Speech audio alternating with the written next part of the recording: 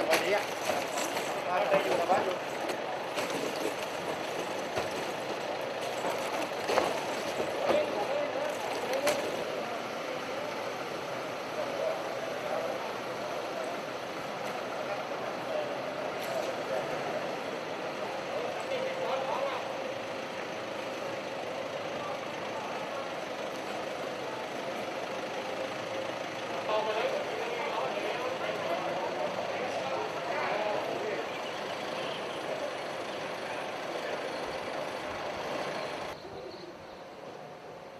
นะครับ ก็วันนี้ทางเครือเจริญพกพันธ์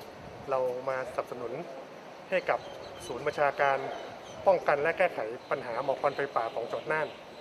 นะครับ เราเล็งเห็นปัญหาเรื่องหมอกควันไฟป่าที่ทางบุคลากร แล้วก็เจ้าที่ทั้งหน่วยงานราชการ แล้วก็หน่วยงานภาคประชาสังคม ได้เผชิญอยู่ในจังหวัดน่านในขณะนี้นะครับ ทางเครือเจริญพกพันธ์ของเราได้สนับสนุนน้ำดื่มจำนวน 6,000 ขวด นะครับให้สำหรับเจ้าที่ในการเตรียมรับมือนะครับ แล้วก็เผชิญกับวิกฤตการณ์ปัญหาหมอกควันไฟป่าในครั้งนี้ครับ ขอบคุณครับ